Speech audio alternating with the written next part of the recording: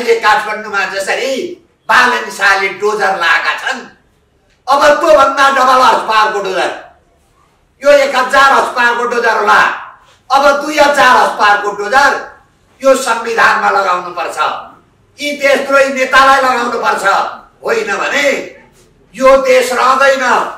सिक्किममा संविधान सभाले बनाएको संविधानले देश समाप्त पारो।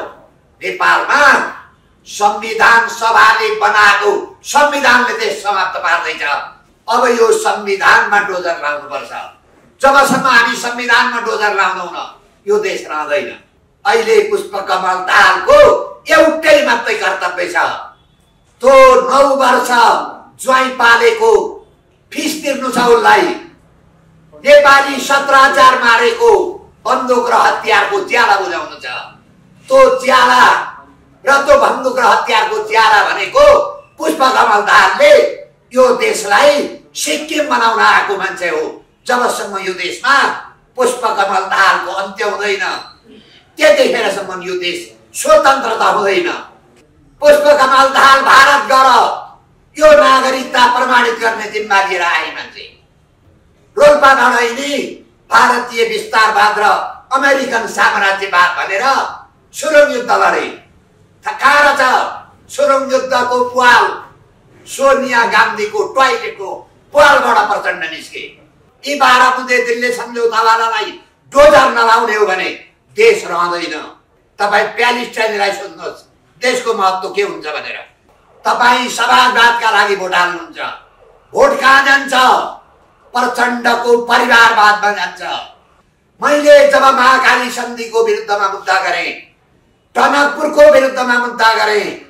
नेपालको उद्योग काल कारखानामा विदेशी मजदुरलाई काम ल्याउने ऐन आएको थियो। त्यो मुद्दा गरेँ। नेपालमा प्रधानमन्त्री मन्त्री र संसद सदस्यलाई अख्तियार रूपले कारवाही गर्न नपाउने ऐन आएको थियो। त्यो मुद्दा गरेँ। अहिलेसम्म मैले अदालतबाट देश जोगाएँ। अब म राजनीतिबाट देश जोगाउनु पर्छ होइन भने यो विदेशबाट परिचालित भएका नेताले देश समाप्तको क्रममा पुर्याए भन्दै हामीहरूलाई सरकारमा पुर्याउनुहोस्। हामी एक हजार मान्छे तुन्छौँ अनि माओवादीका सिद्धान्तमा राजनीति गर्नुहोस् न। तपाईँहरूको यो माथिल्लो लिएर हामीले समाप्त पार्यौँ भने तल्लो कार्यकर्ताको प्रमोसन हुन्छ। होइन भने तपाईँ जिन्दगीभर कार्यकर्ताको कार्यकर्ता हो। तपाईँ त्योभन्दा माथि आउन सक्नुहुन्न। आजीवन प्रचण्डले खान्छ। जो गाउँमा सिद्धान्तको लागि नेपाली काङ्ग्रेस हुनु हो हाम्रो आपत्ति होइन। प्रजातन्त्रको लागि नेपाली काङ्ग्रेस हुनु हो आपत्ति होइन। तर तपाईँ प्रजातन्त्रको लागि भोट हाल्नुहुन्छ। भोट कहाँ जान्छ? भ्रष्टाचारमा जान्छ। कसले खान्छ? शेरबहादुर देउपाले र आर्जु देउपाले खान्छन्। तपाईँ शेरबहादुर देउपालाई र आर्जु देउपालाई हटाउन सक्नुहुन्न। हामीहरूलाई त मौका दिनुहोस्। हामी काङ्ग्रेसको माथिल्लो ल्याए सराप पारिदिन्छौँ जेल हालिदिन्छौँ अनि तपाईँको प्रमोसन आउँछ अनि सिद्धान्तमा राजनीति गर्नुहोस्। हामी यो गालत गर्न ल्याउँला। बिपीले लिएको सिद्धान्त नेपालका लागि नेपालीले लिएको छ। बिपी भन्दै राजा र मेरो घाँटी जोडिएको छ। तपाईँ एमालेको समाजवादका लागि एमालेमा लाग्नु भएको छ। तपाईँको समाजवादले भोट हाल्नुहुन्छ। भोट कहाँ जान्छ? भ्रष्टाचारीमा देशद्रोहीमा अनि कथामा तपाईँले खड्गलाई हटाउन सक्नुहुन्छ? सक्नुहुन्न। तपाईँले एमालेका भ्रष्टलाई हटाउन सक्नुहुन्छ? सक्नुहुन्न। हामीहरूलाई भोट हाल्नुहोस्। हामी एमालेको माथिल्लो लेयरलाई सब जेल हालिदिन्छौँ अनि राम्रो सफा समाजवादको राजनीति गर्नुहोस् न।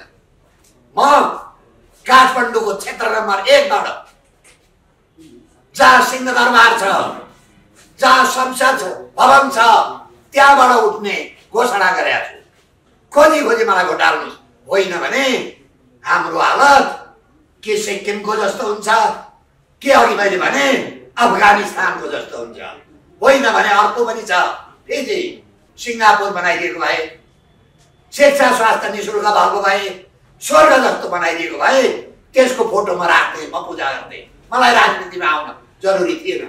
ठन्डा दिमागले सोच्नुहोस् अब एउटा काम चाहिँ बैमान गर्नुपर्छ तपाईँहरूले। पैसा चाहिँ खोजी खोजी खानुहोस्। यिनीहरूका बाउको घडेरी बेचेर ल्याएको पैसा होइन। यिनीहरूको घडेरी बेचेर ल्याएको पैसा होइन। देश बेचेको पैसा महाकाली बेचेको पैसा नागरिकता बेचेको पैसा ललिता निवास बेचेको पैसा अहिलेसम्म नेपाली जनताका टाउकोमा ऋण लाएर आएको पैसा। थैलो बोकेर आउँछन्। खोजी खोजी खानुहोस् भोट चाहिँ सङ्घमा हाल्नुहोस् अनि सङ्घ भनेको यिनीहरूलाई आर्यघाटमा पुर्याउने सङ्घ प्रचण्ड जुन ठाउँमा जान्छन् त्यसलाई भस्म पारेर निस्किन्छन् अब व्यक्तिको प्रश्न छैन। अब देश रहने नरहने प्रश्न आयो। यस्तै मतदान पनि लहै लहैमा मासु चिउरामा गर्नुभयो भने हामीहरूले दुःख पाउनु। नमस्कार। नेपालका लागि नेपाली पार्टीका मञ्चमा आसीन पदाधिकारी आम नेपाली अभियानका पदाधिकारी राम राज्य परिषदका पदाधिकारी र आम पत्रकार मित्रहरू तपाईँहरूले सुनिहाल्नुभयो नेपालका लागि नेपाली विभिन्न धार्मिक सङ्गठन अभियानसँग मिलेर मुङ्सिर चारको चुनाव लड्ने हामीहरूले घोषणा गर्यौँ अब हाम्रो चुनाव चिन्ह सङ्घ छ। अब चुनाव चिन्हको अलिकति महिमा तपाईँहरूलाई म भन्छु। महाभारतको युद्ध। तपाईँहरू सबैलाई थाहा छ। कौरव र पाण्डवको युद्ध। कौरवले पाण्डवलाई एक थोको जमिन पनि दिएनन्। अन्याय गरे। अहिले जसरी नेपालमा यी बाह्र मुद्दे दिलले सम्झौता गर्ने कौरव रूपी राक्षसहरूले यो देशका देशभक्तलाई इमान्दार नागरिकलाई कुनै पनि स्थान दिएनन्। हुँदै हुँदै त्यसै रहन्छ कि रहँदैन भन्ने अवस्थामा पुगे त्यस्तै अवस्था महाभारतमा पनि थियो।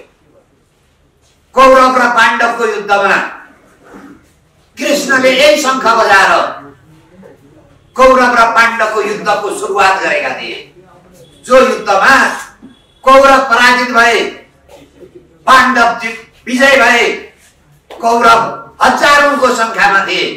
पाण्डव पाँचजनामा सीमित थिए। त्यो लडाइँ अधर्म र धर्मको लडाइँ सत्य र असत्यको लडाइँ थियो। त्यो लडाइँको सुरुवात कृष्णले यही शङ्खनाद गरेर सुरुवात गरेका थिए। हामी पनि नेपालमा धर्म र अधर्मको लडाइँ सत्य र असत्यको लडाइँ न्याय र अन्यायको लडाइँका लागि यही शङ्खनाद गरेर नेपाली जनतासँग आज जाने निर्णय गरेका छौँ। यो शङ्खको महत्त्व त्यति ठुलो छ। हामी घर घरमा पनि मर्दा होस् पूजा गर्दा होस् हरेक काममा शङ्खको प्रयोग हुन्छ। शङ्ख शङ्ख बजाइयो भने त्यहाँ राक्षसहरू रहँदैनन् अरे भाग्छन् अरे। वैज्ञानिक एउटा प्रमाणित कुरो के रहेछ भने शङ्ख बजाइयो भने ब्याक्टेरिया मर्छन् अब नेपालमा नेपाल रूपी देशलाई खाने ब्याक्टेरिया नेपाली नागरिकलाई खाने ब्याक्टेरिया नेपाललाई समाप्त पार्ने ब्याक्टेरियालाई यही शङ्खनाद गरेर अब समाप्त पार्नका लागि हामी नेपालको युद्ध भूमि आएका छौँ। यो युद्ध भूमि हामीहरूले मात्रै जितेर जितिँदैन। यसका लागि तिन करोड नेपाली असी लाख विदेशमा बस्न बसेका नेपालीको हामी हामीहरूलाई सहयोग चाहिन्छ। आजभन्दा अगाडि पनि त्यो सहयोग हामीहरूले पायौँ। अहिले पनि त्यो सहयोगको हामी नेपाली जनतालाई अपेक्षा गर्न चाहन्छौँ। अब यो व्यवस्था किन अन्यायपूर्ण भयो? किन यो व्यवस्था नेपालीलाई काम भएन? तपाईँहरूलाई सामान्य एउटा उदाहरण दिन्छु। अहिले नेपाली जनताले जति कर तिर्छन् जति विदेशबाट नेपाली जनताको टाउकोमा ऋण लिएर आइन्छ त्यो सम्पूर्ण पैसा मध्ये तिरासी पर्सेन्ट यी सेता हात्तीले खान्छन् हाम्रा प्रधानमन्त्रीले केही दिन अगाडि भन्नुभयो अब हामीहरूले तिरेको करबाट कर्मचारीले तलब भत्ता खानलाई तलब पनि पुग्दैन। तलब लिनका लागि कर्मचारीलाई तलब खुवाउनका लागि विदेशबाट पैसा ऋण लिनु पर्यो। अब यही प्रधानमन्त्रीको भनाइ अनुसार तपाईँ कल्पना गर्नुहोस्। यो व्यवस्था अब रह्यो। हामी नेपाली जनतालाई हामीहरूले तिरेको कर र हाम्रा टाउकामा ल्याएको ऋणले कर्मचारीलाई तलब भत्ता खुवाउन पुग्दो रहेनछ। किन? आठ सय छयासी संसद छन्। एक सय सत्तरी मन्त्री छन्। यो देशमा चौबिस पच्चिसवटा संवैधानिक आयोग छन्। अहिलेका संवैधानिक आयोग मध्ये एउटा आयोगको म उदाहरण दिन्छु। मुस्लिम आयोग के काम धन्दा गर्दो रहेछ थाहा छ त्यसलाई? एयरपोर्टको भिआइपी पक्षबाट अपराधीलाई यताका अपराधी उता उताका अपराधी यता काम पार गर्दो रहेछ। तर त्यसलाई कुनै कानुनी कारवाही भएन। सुन्नुभयो कानुनी कारवाही भएको? सुन्नु भएन त्यसैले हामीहरूले नेपालका लागि नेपालीले के भन्यौँ भने हाम्रो देशमा एक सय पन्ध्र संसद भए पुग्छ एघारजना मन्त्री भए पुग्छ आठ सय छयासी संसद खारिज गरौँ। एक सय सत्तरी मन्त्री खारिज गरौँ। अनि यो अनावश्यक संवैधानिक अङ्ग खारिज गरौँ। खर्च घटाऊ। त्यसो गर्दा हामीले प्रतिबद्धता के गरेका छौँ भने हामी अस्सी पर्सेन्ट पैसा तपाईँ नेपाली जनताले कर तिरेको पैसा हामी विकासमा लाउँछौँ। अनि बिस पर्सेन्ट पैसाले हामी सामान्य खर्च चलाउँछौँ। अघि पत्रकार सम्मेलनमा तपाईँहरूले सुन्नुभयो अगाडि के भन्यौँ हामीहरूले अब राज्यका कुनै पनि पदाधिकारीले पचास लाखभन्दा बढी गाडी चढ्न पाउँदैन। अहिले नेपालमा के हो?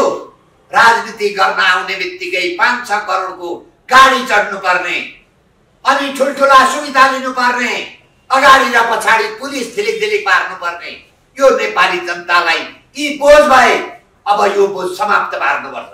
हामीहरूले अघि वक्तव्यमा भन्यौँ हामीहरूले रेस्टुराँको मेनु जस्तो जम्दाका अगाडि भनेका छौँ। तपाईँलाई रेस्टुराँमा जाँदा होटेलमा जाँदा कति पैसा छ? के चिज खाने? त्यही भयो भने तपाईँ अर्डर गर्नुहुन्छ।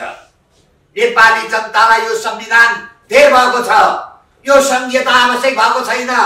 यो गणतन्त्र धेर भयो भने धर्मनिरपेक्ष धेर भयो भने हामीहरूलाई दिनुहोस्। अब नेपालमा यो व्यवस्था यो संविधान यी भ्रष्ट नेतालाई अहिले काठमाडौँमा जसरी बालन शाहले डोजर लगाएका छन् अब त्योभन्दा डबल पावरको डोजर। यो एक हजार पावरको डोजर होला। अब दुई हजार पावरको डोजर यो संविधानमा लगाउनु पर्छ यी देशद्रोही नेतालाई लगाउनु पर्छ होइन भने यो देश रहँदैन। म तपाईँहरूलाई उदाहरण दिन्छु। नेपालको परिस्थिति सिक्किमको जस्तै छ। सिक्किममा पनि नेपाली जस्तै नेता थिए त्यहाँ पनि संविधान सभा भनेर एउटा सुनको मृगको कल्पना गरियो। जसरी सीतालाई रावणले हरण गर्दा एउटा काल्पनिक सुनको मृग ल्याए नेपालमा त्यस्तै काल्पनिक सुरको मृग संविधान सभा भनेर यिनीहरूले ल्याए। संविधान सभा भएपछि सब रोगको औषधि हुन्छ। घर नहुनेले घर पाउँछ जग्गा नहुनेले जग्गा पाउँछ श्रीमती नहुनेले श्रीमती पाउँछ जागिर नहुनेले जागिर पाउँछ भनेर सुनको हरिण देखाए नेपाली जनताले। त त्यो सुनको हरिण किन आएको रहेछ? जसरी रावणले सीतालाई हरण गर्दा सुनको हरिण देखाएर सीतालाई हरण गरे त्यस्तै हरण नेपाललाई समाप्त पार्ने नेपाललाई समाप्त पार्ने अथवा हरण गर्नका लागि संविधान सभा आएको रहेछ। सिक्किममा पनि संविधान सभा आयो। नेपालमा जस्तै लेन्लुक दर्दी आए दिल्लीबाट। यहाँ पनि दिल्लीबाट र बाह्रमुदे दिल्ली सम्झौता गरेर बाह्रमुदेका एजेन्ट आए सिक्किममा संविधान सभाले बनाएको संविधानले देश समाप्त पारो नेपालमा संविधान सभाले बनाएको संविधानले देश समाप्त पार्दैछ। त्यसैले हामीहरूले के भन्यौँ भने अब यो संविधानमा डोजर लाउनुपर्छ। जबसम्म हामी संविधानमा डोजर लाउँदैनौँ यो देश रहँदैन। हामीहरूले राजा चाहिन्छ भने भन्यौँ। हामीहरूलाई तपाईँहरूलाई थाहा छ हाम्रो उखान छ एउटा। अगुल्टाले हिर्काएको कुकुर बिजुली चम्किँदा तर्सिन्छ। हामीहरू दुई ठाउँ अगुल्टाको हल्लाको हिर्काको हामीहरूलाई उदाहरण छ। एउटा सिक्किम। सिक्किममा जब राजा गए। सिक्किमको राष्ट्रियता समाप्त भयो। अर्को उदाहरण म तपाईँलाई देखाउँछु अफगानिस्तान। नेपालमा जस्तै राजा थिए त्यहाँ पनि नेपालको जस्तै आन्दोलन भयो। अधिकार पायौँ न हामीहरूले स्वतन्त्रता पायौँ न भनेर आन्दोलन गरियो। त्यहाँबाट राजा विदा भए। राजाका पालामा अफगानिस्तानमा यो अफगानी युवती मिनिस्कट लाएर युनिभर्सिटी पढ्थे। अहिले जब राजा विदा भए अढाई लाख मान्छे मरे। अहिले अफगानिस्तानमा युवतीहरू कलेज पढ्न जान पाउँदैनन् स्कुल कलेज पढ्न पाउँदैनन् गोर्खा लाएर हिँड्नुपर्छ। खोप नेपाली पत्रकारितामा समाचारमा तपाईँ हामी सुन्ने गर्छौँ। अग्रगमन।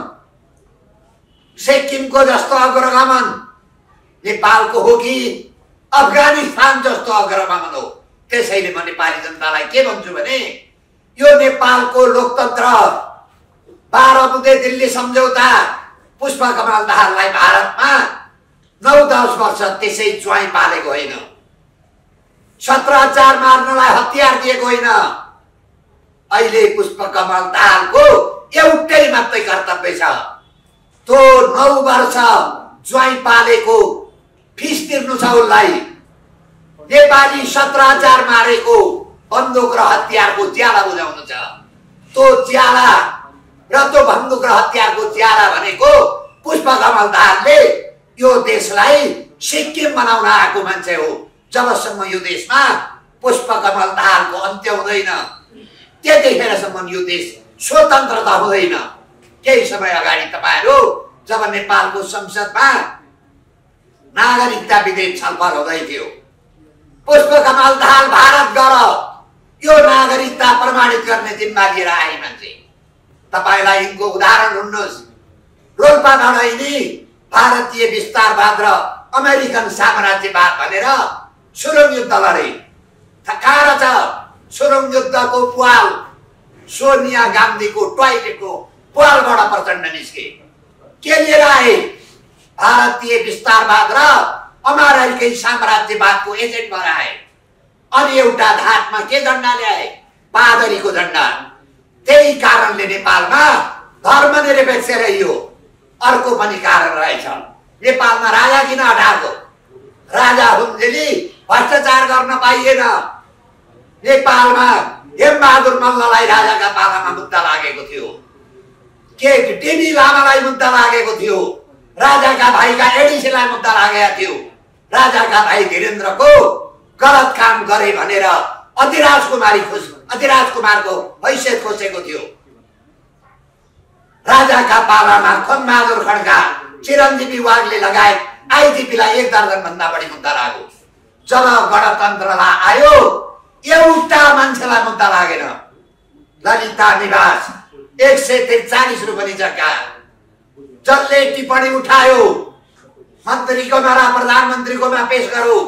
त्यो मान्छे अहिले पनि अख्तियारमा तारिक लिँदैछ। जसले निर्णयमा सदर गरेर जसको स्वेच्छाबाट ललिता निवास गयो त्यो मान्छे अहिले पनि प्रधानमन्त्रीको उमेर लाग्छ तपाईँले बारम्बार सुन्नुभयो होला बाबुराम भट्टराई सत्र हजारको हत्याराका पार्टनर। के भने? माओवादी केन्द्र किन छोडे? दुईटा कारणले छोडे। पुष्प कमल दाहालले क्यान्टनमेन्टमा चौतिस हजार भ्रष्टाचार गरे। एमसेलमा बहत्तर हजार भ्रष्टाचार गरे। तिनवटा नेताले बुढी गण्डकीमा ती तिन हजार भ्रष्टाचार गरे। त्यो कारणले म यो पार्टीमा बस्न सकिनँ। प्रमाणित गर्न सकिनँ भने झन्डिन्छु भने। कारवाही भयो। उप प्रधानमन्त्रीले प्रचण्डको विरुद्धमा हालेको जाहेरी क्यान्टनमेन्टको पनि कारवाही भएन। एलसेलको पनि कारवाही भएन। बुढी गण्डकीको पनि कारवाही भएन। बरु अख्तियार दुरुपयोग अनुसन्धान आयोगका लोकमान सिंह कार्की क्यान्टनमेन्टको फाइल खोल्छु भने लोकमान सिंहको जागिर गयो। अख्तियार दुरुपयोगमा लोकमान सिंह पछाडि परलोकमान सिंह आए। क्यान्टनमेन्टको फाइल किन हुँदैन? त्यो क्यान्टनमेन्ट भनेको सरकारले लडाकाका लागि पाँच हजार महिनाका महिनाको दिएको पैसा। पुष्पकमल दाल र पुष्पकमल दालका कम्पनीले तिन हजार मात्रै दिए। दुई हजार खाए त्यही दुई हजार पैसा चाहिँ क्यान्टनमेन्टको चौतिस अरबको भ्रष्टाचार हो। किन कारवाही खुल्दैन त्यो लडाकाले के का लागि युद्ध गरे? अहिले साहित्य पुष्प कमल दाहालको मानसिक सन्तुलन गुमेको छ।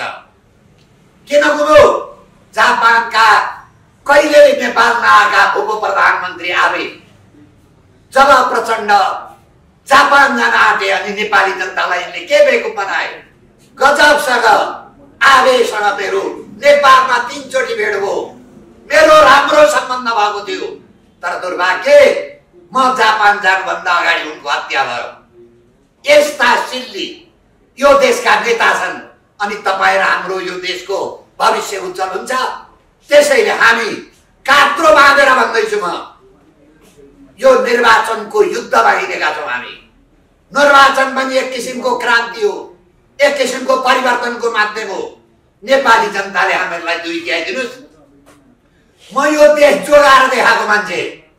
मैले मुद्दामा हालेको भए गिरिजा प्रसाद कोइरालाले महाकाली खाका खाइ हुन्थे मैले मुद्दामा हालेको भए यो देश आजभन्दा दस वर्ष अगाडि सिक्किम अथवा फिजी भइसकेको हुन्थे। यो देश जोगाउने मै हो अहिले अब देश जोगाउने जिम्मा हातमा आयो। त्यसैले नेपाली जनतालाई के भन्छु भने तपाईँ विवेक पुर्याइदिनुहोस् तर हामी नेपाली जनताको एउटा समस्या देखिरहेका छौँ। यो कुरो चाहिँ पुष्पकमल दाहालले पनि भने नेतै जनतै खराब छन् जनता ठिक भएको भए हामी ठिक हुन्थ्यौँ। त्यो कुरो चाहिँ साँचो कुरो भने हामी जनता कसलाई भोट हाल्छौँ? हाइजाकरलाई नेपाली काङ्ग्रेसका मान्छेले बिर्स्यो होला हाइज्याक भनेर माथि लगेर बिपी प्रतिष्ठानमा त्यो हाइज्याक गरेको प्लेन राखेको छ। हाइज्याकको सर्टिफिकेट छ नेपाली काङ्ग्रेसका अगाडि। माओवादीका अगाडि सत्र हजारको हत्याराको प्रमाण छ। किन ती मान्छे मरे? के का लागि मरे? प्रचण्डका जान परिवारका लागि होइन। के पाए नेपाली जनताले? अब तिनका परिवार माओवादी युद्धमा गएका लडाका अब आउनु साथमा। अब यो देश जोगाउने पुलित कार्यमा हामी लाग्नुपर्छ। अब तपाईँहरूले प्रश्न गर्न सक्नुहुन्छ। हामीहरूलाई कसरी तपाईँले देशभरि उम्मेदवार उठाउन सक्नुहुन्छ कसरी दुई त्यहाँ ल्याउने तपाईँले अपेक्षा गर्नुभयो? सिधै म भन्छु मैले जब महाकाली सन्धिको विरुद्धमा मुद्दा गरेँ टनकपुरको विरुद्धमा मुद्दा गरेँ नेपालको उद्योग काल कारखानामा विदेशी मजदुरलाई काम ल्याउने ऐन आएको थियो त्यो मुद्दा गरेँ। नेपालमा प्रधानमन्त्री मन्त्री र संसद सदस्यलाई अख्तियार रूपले कारवाही गर्न नपाउने। ऐन आएको थियो। त्यो मुद्दा गरेँ। त्यतिखेरैदेखि देशभरिमा हामीहरूले सङ्गठन बनाएका थियौँ। अहिले आम नेपाली अभियान जो दुईजना मान्छे आएर तपाईँलाई कहाँगाडि भन्नुभयो हामीसित टोटल वार्डमा सङ्गठन छ। यो सङ्गठन हामी चाहिएका बेला मात्रै निकाल्छौँ। अर्ध भूमिगत अवस्थामा छ। हाम्रा यो अभियानका र नेपालका लागि नेपाली पार्टीका मान्छे नेपाली काङ्ग्रेसमा छन्। एमालेमा छन् माओवादीमा छन् राप्रपामा छन्। हामीहरूले सेठी बजाउने व्यक्ति यति मान्छे निस्किन्छन्। त्यसैले हामी हाम्रा बुद्धा मात्रै हिँडेका होइन जनताका बुद्धामा हामी निस्केका छौँ। त्यसैले हामी के भन्छौँ भने यो देशमा अब यो संविधान नफ्याँक्ने हो यी बाह्र बुधे दिल्ली सम्झौतावालालाई डोजर नलाउने हो भने देश रहँदैन। देश रहेन भने तपाईँ प्यालिस्टाइनलाई सुन्नुहोस् देशको महत्त्व के हुन्छ भनेर। त्यसैले हामीहरूले के भनेको छौँ आउनुहोस् अब यो देश जोगाउने भ्रष्टाचार सिद्ध्याउने अनि यो देशलाई सम्पन्न बनाउने मान क्रान्तिमा हामी संलग्न भएका छौँ। त्यसैले नेपाली दा दाजुभाइ दिदी बहिनी सम्पूर्ण युवालाई भन्छु म आउनुहोस् यो देश जगाउने काममा गरौँ। म नेपाली काङ्ग्रेसका मान्छेलाई भन्छु एमालेका कार्यकर्तालाई तल्ला कार्यकर्तालाई भन्छु माओवादीकालाई भन्छु। तपाईँले तपाईँ माओवादीका कार्यकर्ता हुनुहुन्छ गाउँमा। तपाईँले भोट हालेर प्रचण्ड यहाँबाट आउट हुँदैन। तपाईँ समाजवादका लागि भोट हाल्नुहुन्छ। भोट कहाँ जान्छ? प्रचण्डको परिवारवादमा जान्छ। प्रचण्डको खल्तीमा भ्रष्टाचार गर्न जान्छ। हामीहरूलाई भोट दिनुहोस्। जम्मै हामी माथि गोलिएर समाप्त पारिदिन्छौँ। हामीहरूलाई सरकारमा पुर्याउनुहोस्। हामी एक हजार मान्छे तुन्छौँ अनि माओवादीका सिद्धान्तमा राजनीति गर्नुहोस् न तपाईँहरूको यो माथिल्लो लिएर हामीहरूले समाप्त पार्यौँ भने तल्लो कार्यकर्ताको प्रमोसन हुन्छ होइन भने तपाईँ जिन्दगीभर कार्यकर्ताको कार्यकर्ता हो तपाईँ त्योभन्दा माथि आउन सक्नुहुन्न आजीवन प्रचण्डले खान्छ अर्को म नेपाली काङ्ग्रेसलाई भन्छु जो गाउँमा सिद्धान्तको लागि नेपाली काङ्ग्रेस हुनु हो हाम्रो आपत्ति होइन। प्रजातन्त्रको लागि नेपाली काङ्ग्रेस हुनु हो आपत्ति होइन। तर तपाईँ प्रजातन्त्रको लागि भोट हाल्नुहुन्छ। भोट कहाँ जान्छ? भ्रष्टाचारमा जान्छ। कसले खान्छ शेरबहादुर देउपाले र आर्जु देउपाले खान्छन्। तपाईँ शेरबहादुर देउपालाई र आर्जु देउपालाई हटाउन सक्नुहुन्न हामीहरूलाई त मौका दिनुहोस्। हामी काङ्ग्रेसको माथिल्लो ल्याएर सराप पारिदिन्छौँ जेल हालिदिन्छौँ। अनि तपाईँको प्रमोसन हुन्छ अनि सिद्धान्तमा राजनीति गर्नुहोस्। हामी वकालत गर्न जाउँला अर्कोमा एमालेलाई भन्छु। तपाईँ एमालेको समाजवादका लागि एमालेमा लाग्नु भएको छ। तपाईँको समाजवादले भोट हाल्नुहुन्छ। भोट कहाँ जान्छ? भ्रष्टाचारीमा देशद्रोहीमा अनि कथामा। तपाईँले खड्गलाई हटाउन सक्नुहुन्छ। सक्नुहुन्न। तपाईँले एमालेका भ्रष्टलाई हटाउन सक्नुहुन्छ सक्नुहुन्न। हामीहरूलाई भोट हाल्नुहोस्। हामी एमालेको माथिल्लो लेयरलाई सब जेल हालिदिन्छौँ अनि राम्रो सफा समाजवादको राजनीति गर्नुहोस् न। त्यसैले अहिले वास्तवमा भन्ने हो भने बिपीले लिएको सिद्धान्त नेपालका लागि नेपालीले लिएको छ। बिपी भन्दै राजा र मेरो घाँटी जोडिएको छ। किन जोडिएको छ? त्यसका लागि। भारतले बिपीका बिपी कोइरालालाई राजाको विरुद्धमा प्रयोग गर्न खोज्यो बिपीले बोले बुझे राजा हटाएपछि यो देश रहँदैन भनेर त्यसैले बिपी मेलमिलापको लिए नीति लिएर आएर नेपालमा प्रवेश गरे अहिलेको नेपाली काङ्ग्रेसले बिपीको सिद्धान्त त छैन अब अर्को आयो मदन भण्डारी मदन भण्डारीले के भनेको थियो नेपालमा राज संस्था आवश्यक छ अहिले मदन भण्डारीको सिद्धान्तमा छ एमाले छैन। मदन भण्डारीको सिद्धान्तमा हामी छौँ। त्यसैले हामी भन्छौँ अब आउनुहोस् यो देश जोगाउने महान क्रान्तिमा भाग लिनु पऱ्यो। आउनुहोस् तपाईँ कुन रूपमा सहयोग गर्न चाहनुहुन्छ? हामीहरूलाई भन्नुहोस् अहिलेसम्म मैले अदालतबाट देश जोगाएँ। अब म राजनीतिबाट देश जोगाउनु पर्छ होइन भने यो विदेशबाट परिचालित भएका नेताले देश समाप्तको क्रममा पुर्याए भन्दै अब म एउटा घोषणा गर्छु तपाईँलाई।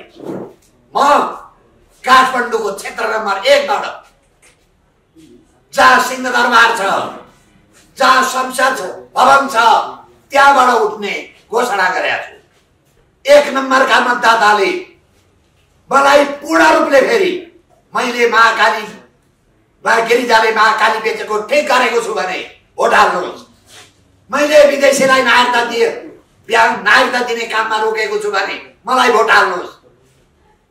मैले नेपालको उद्योग काल कारखानामा नेपाली मजदुरले काम पाउनुपर्छ भनेर हक अधिकार ल्याएको तपाईँलाई ठिक लाग्छ भने खोजी खोजी मलाई भोट हाल्नुहोस्। होइन भने हाम्रो हालत के सिक्किमको जस्तो हुन्छ के अघि मैले भने अफगानिस्तानको जस्तो हुन्छ।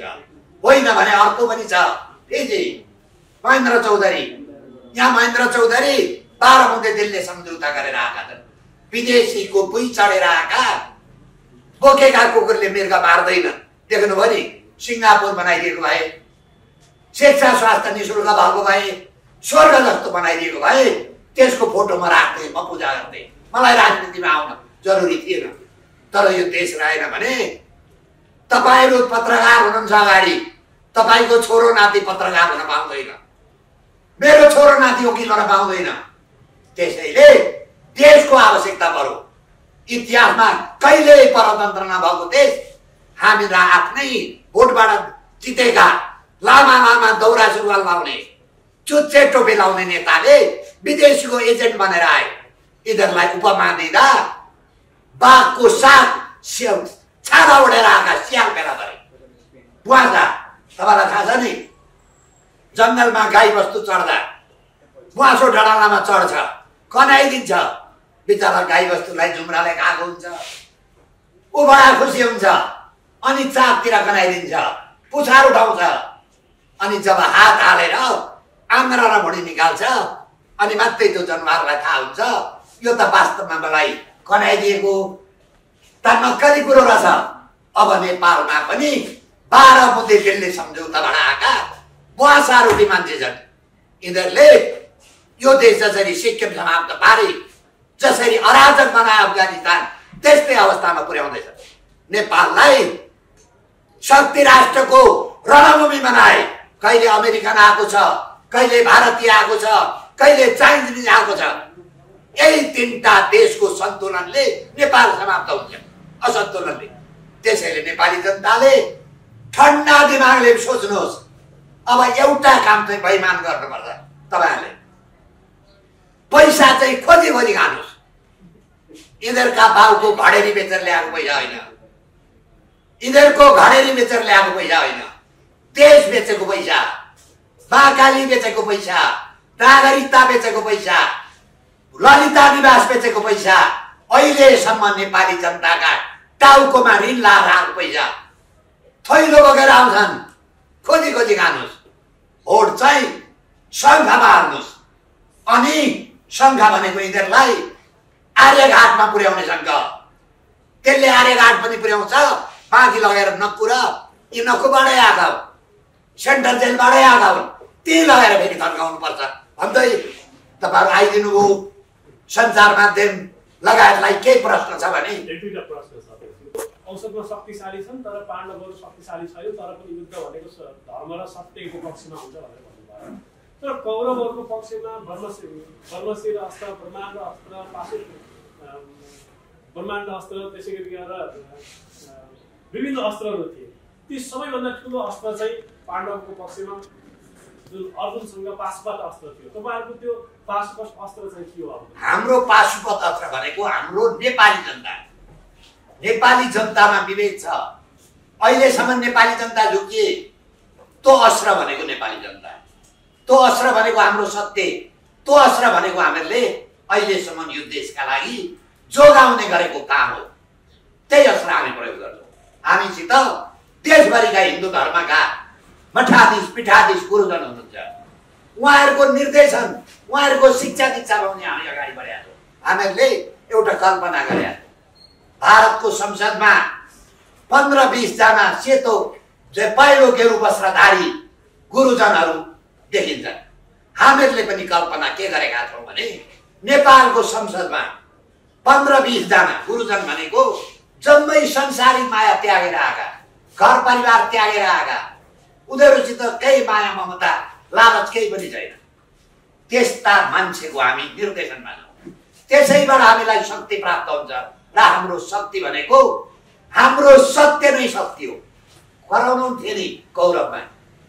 पाण्डव त सीमित मान्छे थिए युद्ध कसले जित्यो पाण्डवले जित्यो सत्य र असत्यको लडाइँमा जहिले पनि सत्य केही समय भ्रमित हुन सक्छ मान्छे भ्रमित भए सिङ्गापुरै भइहाल्छ कि यिनीहरूले कति भ्रम पारे राजा वीरेन्द्रको स्विजरल्यान्डमा पैसा छ त्यो पैसा ल्याएर हरेक नागरिकलाई चार बिघा जग्गा र पाँच तोला सुनिदिन्छु भने अब यो काम हामी गर्छौँ यिनीहरूको स्विस ब्याङ्कमा पैसा छ भन्ने कुरो सार्वजनिक भएको छ। किन छानबिन हुँदैन? यही चुनावमा काम गर्छ। नेपाली जनता विकल्प खोजेर हिँडेका छन् हिजो एकचोटि धक्का पाए कमल थापाबाट। धर्मको अहिले कमल थापाले नेपाली जनतालाई धोका नदिएको भए नेपालमा कमल थापालाई प्रधानमन्त्री हुन रोक्ने कसैको पनि हैसियत थिएन। तर दुर्भाग्य उनी छोटीमा हिँडेर त गाई लिएर हिँडे। गाई त्यही सुकुटी खाए। अनि नेपाली जनताले देखाइदिए नि हिजो संविधान सभामा पहिलो संविधान सभामा माओवादीलाई कति दिएको थियो? दुई तिहाई होइन। अहिले कहाँ पुग्यो माओवादी? नेपाली काङ्ग्रेसको दौराको फेरि समाएर मलाई बैतरनी तराइदेऊ मलाई पदमा पुर्याउन भन्दै त नेपाली जनताले लखेटेर खेच्छन् सत्र हजारका कङ्काल आउँछन्। संरक्षक खोज्दै हिँड्दैछ नि। अब नेपाली काङ्ग्रेस पनि समाप्तको क्रममा गयो। प्रचण्ड जुन ठाउँमा जान्छन् त्यसलाई भस्म पारेर निस्किन्छन् जस्तो कि तपाईँहरूले यो नेपालको लागि नेपाली पार्टी जुन तपाईँहरूको पार्टी छ त्यो सडक सङ्घर्षबाट ठुलो क्रान्ति गरेर उजाएको पार्टी पनि हो तपाईँहरू एक किसिमको विचार लाइन लिएर हिँडिरहनु भएको छ। एक सय पैँसठीवटा निर्वाचन क्षेत्रमा जति पनि प्रदेशका निर्वाचन क्षेत्रहरू छन् प्रदेशहरू छन् त्यो सबैमा तपाईँहरूको जम्मैमा उठाउँछ। अघि तपाईँहरूले सुन्नुभयो होला। एउटा क्षेत्र मात्रै पनि छोड्दैनौँ हामी एउटा चाहिँ विचार गर्दैछौँ बनाएका छौँ। हेर्नु न हामी। यो तपाईँहरूलाई पत्रकार सम्मेलन ल्याएर बनाउँछौँ एउटा कुरो चाहिँ हामी सोच्दैछौँ। नेपालका अहिलेसम्मका हजुर। प्रदेशमा पनि नेपालका चारवटा समस्या। समस्याका कारक तत्त्व। जसरी बिहारलाई कोसी भन्छ नि समस्या। नेपालमा चारजना मान्छे समस्या। एउटा पुष्पकमल दाल एउटा शेरबहादुर देउपा एउटा माधव नेपाल एउटा केपी शर्मा ओली हामी एउटा विचार के गर्दैछौँ भने यो निर्णय गएको होइन यिनीहरूको विरुद्धमा चाहिँ जसलाई भोट दिँदाखेरि यिनीहरू हार्छन् त्यसलाई दिने चितवनमा प्रचण्डलाई एमाले हराउँछ भने प्रचण्डलाई भोट हाल्ने शेरबहादुर देउपालाई स्वतन्त्रती ढकालले चुनाव जित्छन् भने तिनलाई भोट हालिदिने। दमातमा केपी शर्मा ओली हाल्छन् भने काङ्ग्रेसलाई भोट हालिदिने। गौरमा माधव नेपाल हाल्छन् भने मधेसवादी पार्टीलाई भोट हालिदिने। यी चारजना नेपालका समस्या पार भयो भने नेपाल आदि मुक्त भयो। हामी त्यो अभियानमा पनि छौँ। तर यो अन्तिम निर्णय होइन। हामी यो पनि विचार गर्दैछौँ तपाईँ आफै लौह पुरुष गणेशमान सिंहको सुपुत्र जो पटक पटक काठमाडौँ नम्बर एकबाट निर्वाचन प्रकाशमान सिंहको निर्वाचन क्षेत्रबाट उठ्दै उठ्दैछ उहाँसँग सङ्गठन छ उहाँसँग सबै कुरा गर्नु हिजो अब भन्छु। हुन्छ प्रकाश मान सिंहले यो देशका लागि के गरे? कतिचोटि नागरिकता नेपालीलाई विदेशीलाई बाँड्नु हुँदैन भने बोले नेपालको उद्योग कल कारखानामा विदेशी मजदुरलाई काम ल्याउने ऐन यिनैले ल्याएको महाकाली व्यक्ता एक शब्द बोले अस्ति शेरबहादुर देउपालाई यिनै प्रकाशमानको कारणले शेरबहादुर देउपा सभापतिमा जिते नभए शेखर कोइराला जित्थे त्यो जित्दा पछाडि पनि ठुलो पैसाको लेनदेनको कुरो छ हामी सत्तामा आएपछि नागरिक आयोग बनाउनु त्यो आयोगले छानबिन गर्छ यी पनि अर्का समस्या हुन् के वीरता हो यिनको बाउको के गर्यो नेपालका लागि सरकारी पैसाले दुई चार ठाउँमा पिच गरेर भोट पाइँदैन। अब जनता देशको प्रश्नमा आइसके। अब व्यक्तिको प्रश्न छैन। अब देश रहने नरहने प्रश्न आयो। हामी नेपाली जनतालाई तँ भन्नु के गरे? सिङ्गापुर बनायो प्रकाशमानले। होला नि तपाईँको अगाडि। वीरता हो। नेपाली जनताले दिएको खुवा वीरता खुवा वीरता त होइन। आजीवन उनलाई। के विवेक छैन नेपाली जनतासँग? बस्दामा तुरुन। जता लाग्यो त्यतै हिँड्ने। अब यो पनि परीक्षण गरौँ। अहिलेसम्म चाहिँ देखिएको छ। भोटकललाई सत्र हजारका हत्यारालाई भोटकललाई हाइजाकरलाई भोटकललाई ललिता निवासवालालाई अनि भोटकललाई सुतेका ठाउँमा मान्छे काट्ने टाउको काट्नेलाई। धतुरो रोपेर गुलाब फुल्छ। कोदो रोपेर धान फल्छ। अहिलेसम्म नेपाली जनताले धोका पाएको प्रश्न यही हो। काठमाडौँमा त दसवटा क्षेत्र थिए तपाईँले काठमाडौँ नै रोज्ने हो भने। त्यो क्षेत्र नम्बर एकमै किन रोज्नुभयो। नभए भने सबैले के गर्छ भने आफ्नो जो ओरिजिनालिटी आफ्नो गाउँठाउँ छ त्यहीँ गएर चुनाव लड्दै तपाईँले यहाँ किन छान्नुभयो मेरो मतदाता यहीँ छ। म चालिसौँ वर्ष यहीँ बसेँ। मेरो कार्यालय यहीँ छ। यही कारणले र। देशभरिको एक नम्बरको उम्मेदवार भागेर हिँड्ने मान्छे होइन। डराउने मान्छे पनि होइन। अडचालिस सालमा गिरिजाले महाकाली बेच्दा कोही बोल्न तयार थिएन। मलाई मार्न पनि सक्थे अहिले पनि मार्न सक्ने सम्भावना धेरै बढी। छ माधव नेपाललाई निधरा भइरहेछ ललिता निवासले यसैको कारणले म भोलि जेल जान्छु कि? देख्नुभयो नि ललिता निवासको वेट कति रहेछ गठबन्धन यसैले बनेछ। वीरेन्द्र रिजालले भने माधव नेपालको राजनीति सिद्धियो। भ्रष्टाचारीलाई राजनीति सिद्धियो भनेर बचाउने। त्यो नेपाली काङ्ग्रेस कस्तो पार्टी? एक एक असुल गर्नुपर्छ नेपाली जनताले? कसैले त गरिदिनै पर्यो नि होइन अरू थुप्रो आउँछन्। राजेन्द्र लिङ्गले गरिदिन्छन् कि भनेर। म पनि केही समय हेरेर बसेँ। पहिले कमल थापाले गर्छन् भनेर हिँडेँ अब त राजेन्द्र लिङ्गदेल पनि गणतन्त्रवादी धर्मनिरपेक्षवादीको पार्टीमा लागेको। त्यो पार्टीमा पनि स्ट्रिङमा महाकाली बेच्ने मान्छे पशुपति शमशेर राणा। जसले महाकाली बेचेको सही छ। प्रकाश चन्द्र लोहनी नामै भन्छु म। यिनै हुन् पहिले साप भात भात के अरे मासु आए दुलाभित्र हात। साप फेला परे दुला बाहिर। हिजो गणतन्त्र पास गर्ने मान्छे यिनै होइनन् लाज लाग्दैन राजा भनेर हिँड्न। लाज लाग्दैन धर्म भनेर हिँड्न। के नेपाली जनताको स्मरण शक्ति सानो छ। हामी त्यही स्मरण शक्ति जोगाउ देखाउन जान्छौँ कसैले त गरिदिनु पर्यो नि? त्यही गरिदिनका लागि हामीहरूले कम्मर कसेका छौँ बाँकी सञ्चार माध्यम नेपाली जनताको विवेकमा मलाई विश्वास छ। नेपाली जनता मूर्ख छैनन्। यिनीहरूले मूर्ख चाहिँ बनाए। तर अब त्यो हामीहरूलाई देशभरिबाट फोन गरेका छन्। सम्पर्क गरेका छन्। तपाईँहरू अगाडि बढ्नुहोस् हामी तपाईँका पछाडि छौँ। के के चाहिन्छ हामी गर्छौँ। देश विदेशबाट फोन गर्छन्। देश समाप्त भयो। तपाईँले अहिलेसम्म जोगाउनु भयो अब तपाईँ अगाडि आइदिनुहोस्। जीवनको उत्तरार्धमा मार्न सक्छन्। भ्रष्टाचारीले मार्न सक्छन्। देशद्रोहीले मार्न सक्छन्। तर त्यो मर्न तयार छौँ अब भनेको फर्स्टमा आएको जिन्दगी हो। नेपालीको एभरेज उमेरभन्दा त्यही छेउछा उमेर भइसक्यो। अब देशका लागि अब यो मौका हाम्रो गुम्यो भने हाम्रा सन्ततिले नेपाल भन्न पाउँदैनन्। अहिले यिनीहरूकै कारणले अस्सी लाख विदेशमा बसिया छन् ब्याग भएर आएका छन् बाकसमा कसले जिम्मा लिने? कोही त हुनु पऱ्यो नि जिम्मा लिने।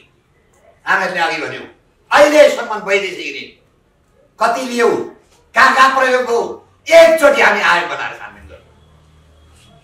सम्पूर्ण एक त ओभरअल गर्नुपर्छ अब यो देश मोटरसाइकल बिग्रेको मोटरसाइकल जस्तो हो। अब मिस्त्री काममा लगेर ओभरअल गर्नु। त्यो मिस्त्री हामी। कसरी भ्रष्टाचार हुन्छ त्यो हामीलाई थाहा छ।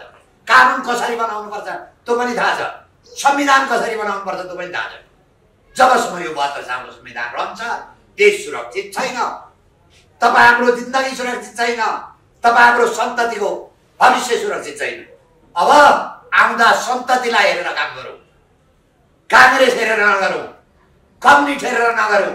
के गरे त? किन हामीहरू नगरेको त? कारण के हो अघि मैले पुष्पकमल दाहालको भन्दै थिएँ जहाँ गए ती दोस्त बात भन्नुहोस् त अब क्रान्ति गर्ने अरे हेटे प्रधानमन्त्री नभए यो व्यवस्था विरुद्धमा क्रान्ति व्यवस्था फेर्नु पर्यो के हिजो यो संविधान गाँजा हार बनाएको थियो संवाद संसारको सबभन्दा महँगो संविधान यस्तै तालो भने संविधान बनाएको पैसा पनि असुल भर गर्नुपर्छ हामीले त्यसैले साथ दिनुहोस् नेपाली जनता अब रोग कडा छ है खेलाची नगरौँ देशै नरहन सक्छ। अहिले यो देशको नाममा अब भोट हाल्नु पर्ने हो। त्यसैले नेपाली जनतालाई फेरि हामी तपाईँहरू साथमा आउँछौँ। हामी त कप्पन बाँधेर निस्केका मान्छे हौँ। अब नेपाली जनता हेरौँ कतिको विवेक छ। तर कहिल्यै परतन्त्र नभएको देशका नेपाली जनता विज्ञ छन्? कहिले काहीँ झुकिन्छन्? झुकिए हामी पनि बजारमा कहिले काहीँ सक्कली डाक्टर भनेर गयो। उता नक्कली फेला पर्छ। यी जम्मै नक्कली डाक्टर छन्। सय डिग्री ज्वरो हुँदा गयो। यत्रो बाह्र पन्ध्र वर्ष भयो सो एक सय छ डिग्री ज्वरो भयो। अब बिरामीका गाडी दुईवटा विकल्प। कि डाक्टर फेर्ने कि मृत्युवरण गर्ने? अब डाक्टर फेर्नुहुन्न मेरो बाबुले पनि काङ्ग्रेसमा भोट हालु मैले पनि काङ्ग्रेसमा भोट हाल्ने हो भने मृत्युवरण गर्नुहोस्। सेकेमा तयार हुनुहोस्। अफगानिस्तान आउन तयार हुनुहोस्। होइन। अब हामीहरूको यो सार्वभौम सत्ता हाम्रो हातमा छ। ठिक ठाउँमा प्रयोग गर्नुपर्छ। जसरी हामी घर व्यवहारमा छोरी दिन्छौँ नि। कन्यादान यो मतदान कन्यादान जथाभावी गर्नुभयो भने छोरीले दुःख पाउँछ। यस्तै मतदान पनि लहै लहैमा मासु चिउरामा गर्नुभयो भने हामीहरूले दुःख पाउँछौँ त्यसैले नेपाली जनताले विवेक प्रयोग गर्न अनुरोध गर्दै तपाईँहरू आइदिनु हो। हरेकलाई धन्यवाद दिँदै यो कार्यक्रम यी समाप्त भएको घोषणा गर्दछु। धन्यवाद। नमस्कार।